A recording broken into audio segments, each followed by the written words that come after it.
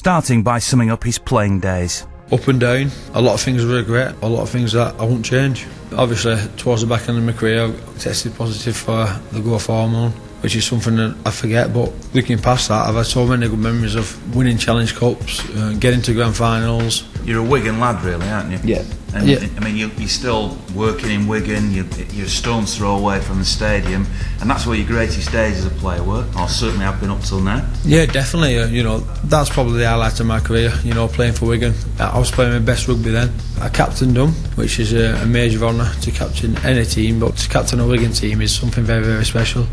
I've just opened my own business in Wigan. We get a lot of Wigan fans in, we get a lot of travelling fans in. Everything's going well, so not everything's bad for me at the moment. So we're sat in your business now, aren't we? The Ben Johnson pub, which is opposite Sainsbury's, not too far away from the stadium. So a lot of people will know that you're based here and presumably come in and, and chat to you. What makes it good is probably the, the last pub off the motorway for the Yorkshire teams travelling home and stuff like that. So you, you tend to get a lot of fans popping in, a lot of fans coming to the stadium. It's a very friendly pub. We've done a sports bar. You know, we've got lots of signed memorabilia off numerous different teams, players, Ricky Hatton. You know, the list goes on. A lot of events for charity. We're going to raffle light things off, sign Ricky Hatton gloves, sign shirts, different things, not just rugby stuff, but a lot of different things. And we're going to donate all that money to a charity in Wigan. Also had a lot of trouble actually funding to open the shop, so when I phoned them yesterday, they was over the moon. And if we can raise some good money for that, that's all we're look, looking to do.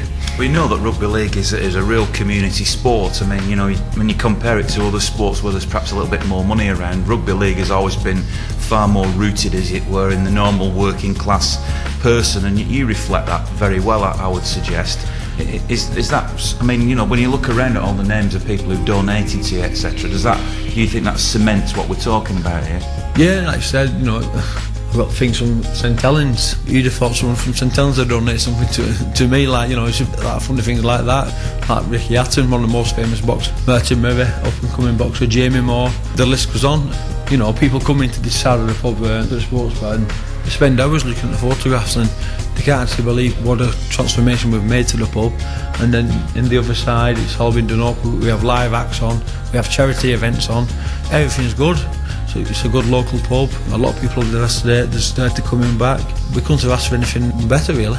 Let's start back at the beginning then. Well, tell us a little bit about your, your life as a child. Did you come from a big family? No, I came from a, a young family. I, I grew up in a state called Whistle Range, which it weren't the best estate to grow up on at the time. That's where there were a lot of drugs knocking about then.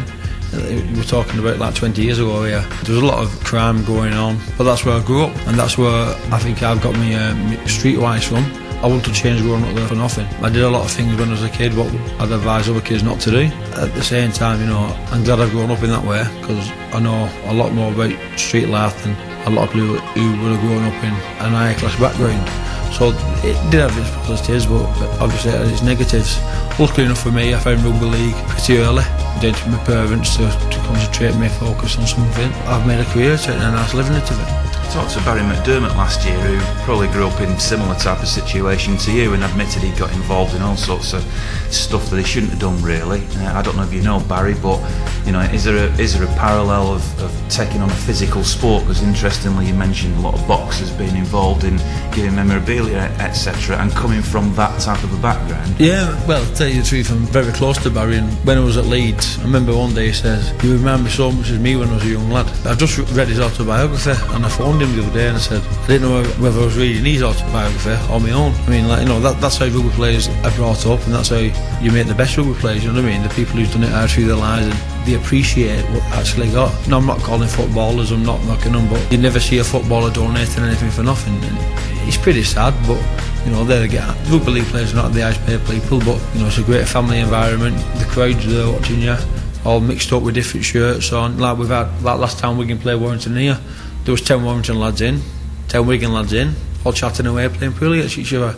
Now, if we're talking about Man United and Man City, there were ten lads in here, everyone fighting, which is a big difference. And I think that's why people come to rugby league because it's so great for the kids. And I just wish it were a bigger sport nationally. Is there any other parallel with Barrie? I mean, Barrie's ended up um, being a you know quite a born again Christian, I suppose, in many ways, and you know he had he had the you know his eye, obviously the problem with his eye, and and uh, you know could have gone off onto the wrong tangent. Have you ever had one of those eureka moments where you've, you've thought, you know, maybe I could have gone down that direction and now I'm going to try and go down that direction? Yeah, I've done a few bad things in my life and, you know, only for my mum and dad and my parents, you know, keeping me on the straight and narrow. A lot of my friends were, they were stealing cars, stealing motorbikes. I was with them, you know, and I could have easily gone down that path. But because of my commitment to rugby and how much I enjoyed rugby, I chose the right path. Whereas my sister had the same upbringing as me. She had a lot more than me. She had like horses, she, she never wanted for anything.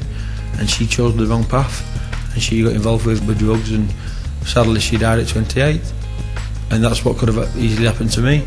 Barrie's a good mate of mine, he, he always has been. And like when I was at Leeds with him, he was like a father figure to me.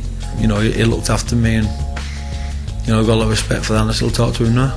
So tell me a little bit more about your sister. I mean, what went wrong? Could you see see it going wrong for her? I couldn't see it going wrong at the time, but obviously me, my mum, my dad obviously didn't, didn't know what was happening.